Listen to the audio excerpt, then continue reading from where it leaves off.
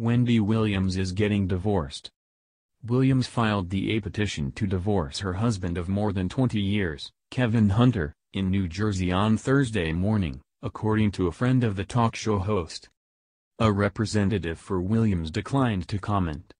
Wendy and her family have been a part of Debmar Mercury for over 10 years, a spokesperson from the Wendy Williams show said to CNN in a statement.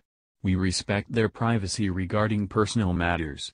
As always, we remain committed to bringing an entertaining and topical show to our viewers. Williams and Hunter married in 1997 and together they have a 19-year-old son. Hunter serves as Williams' manager and is also a producer on her show.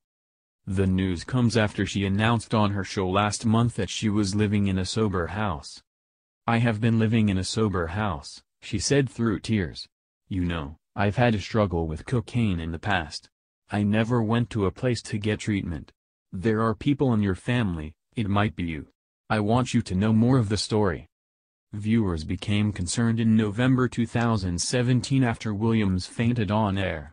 She appeared to be battling health problems again the following year when she her speech was slurred during an interview on her show. Following a two-month break to focus on her health, Williams returned to her show on March 4.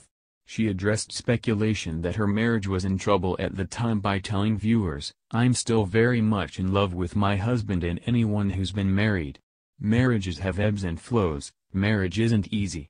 And don't ask me about mine until you see this gone and it ain't going anywhere, not in this lifetime.